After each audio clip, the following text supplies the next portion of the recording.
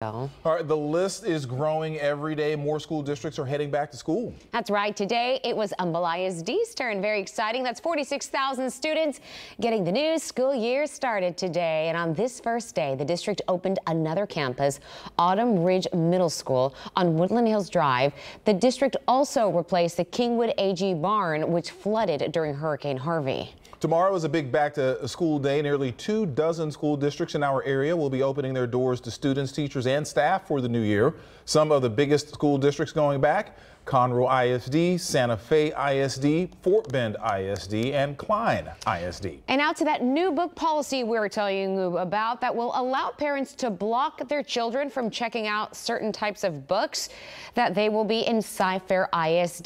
KPRC2 Sabira Rayford is live with that story tonight. Sabira.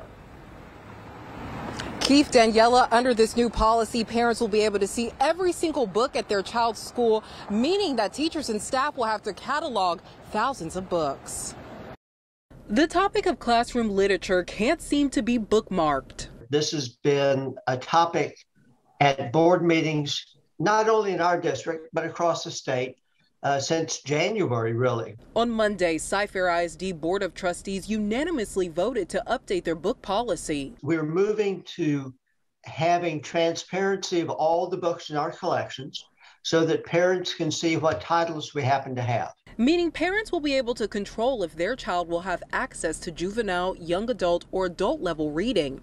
Teachers and staff will be responsible for creating the mass catalog. It was just one more thing, one more to do on their uh, already very busy, busy, you know, full plates. Nikki Cowart is the president of Cy-Fair AFT Teachers Union. She says when the policy change was brought up at a board workshop on Thursday, there was instant concern about adding to teachers' already packed workload. Needless angst, if you will. Unfortunately, I just think it was poorly communicated. Others shared similar concerns at Monday night's meeting, so the board voted to implement the policy in November.